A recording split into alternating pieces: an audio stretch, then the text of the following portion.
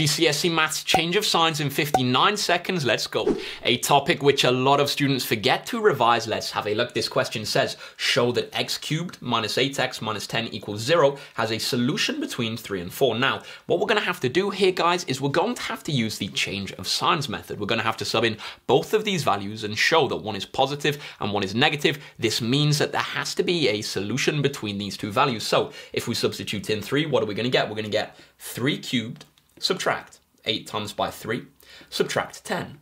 3 cubed is going to be 27, 8 times 3 is going to be 24, so we have 27, take 24, take 10. If we work this out, what would it be? It would be negative 7. What about subbing in 4? We're going to get 4 cubed minus 8 times by 4 minus 10. 4 cubed is 64. 8 times 4 is 32. So we have 64, take 32, take 10. If we work this out, what would it be? 64, take 32 is 32, take 10 is going to be 22. We can see that one is negative, one is positive. Therefore, there's a change of signs. Therefore, a solution lies between